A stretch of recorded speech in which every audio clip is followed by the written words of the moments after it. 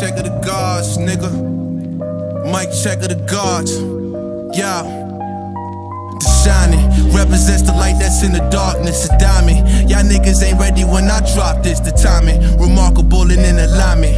Anything is possible, I promise. Yo, I admitted I was gone for a little minute. It's like I lost my glow, yo. My inner light was dimming. Now I got my mojo back. Yo, don't know how to act. I'm about to black out. I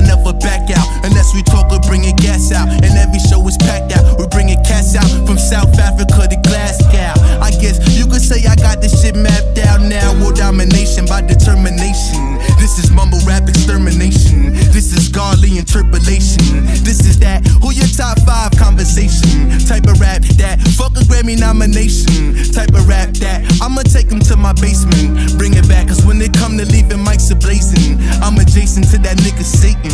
That ain't for debating.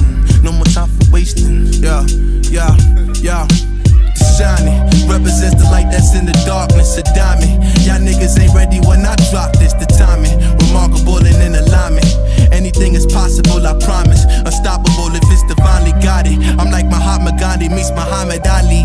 Trapped in the rapper's body. Another old soul in every lifetime you find me. My angels who surround me. Niggas was fun and now they all behind me.